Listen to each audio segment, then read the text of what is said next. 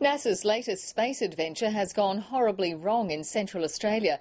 A giant helium balloon and its state-of-the-art cargo has crashed on takeoff, smashing into cars and sending onlookers running for their lives. Anna Henderson reports.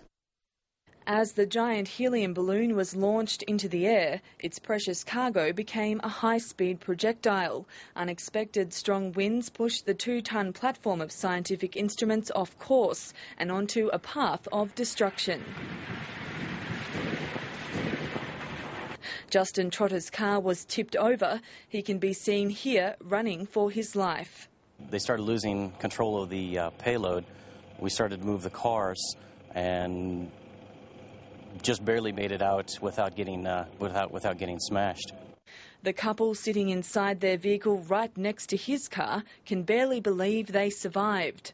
There was just lots of noise, and we thought really thought we were gone. It was just an instance of uh, chaos outside. We were expecting to be wiped out. While Justin Trotter was inspecting the damage, NASA scientists were picking up the pieces of years of work. It's not clear whether anything can be salvaged. Everybody is feeling very down about it. A quick look showed that there were bits that were uh, in pretty good shape. But to be able to expect that to be put together within a month for another launch seems unlikely. The Gladwrap thin, giant balloon came down in a nearby field and will be thrown away. The balloons are launched into the stratosphere carrying cutting edge telescopes that help give astronomers and scientists a much clearer view of space. Organisers say they are relieved no one was hurt.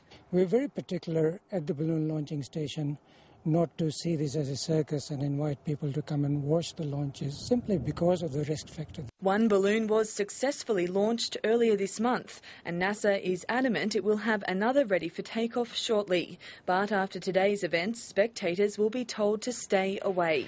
Anna Henderson, ABC News, Alice Springs.